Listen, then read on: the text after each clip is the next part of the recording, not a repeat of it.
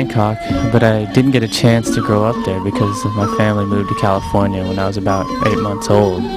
So I didn't really know what Thailand was like until I went back.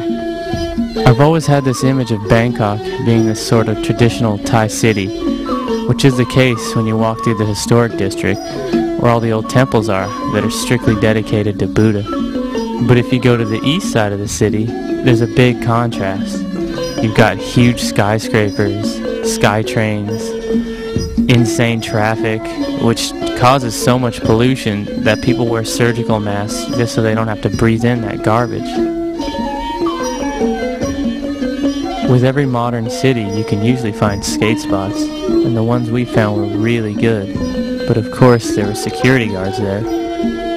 All we did was told them we were there to do work, and gave them a little bit of money, which barely equaled 2 US dollars, and they let us skate, even for beer and cigarettes. It's, it's crazy because that would never happen in the US. Even with all the good spots we found, I didn't see that many skaters, and it makes me think that if I would have grown up in Thailand, chances are I probably would have never skated. So I could have ended up doing other things, like training to be a champion Thai kickboxer, or maybe even a Buddhist monk. Who knows? But no, I don't think so.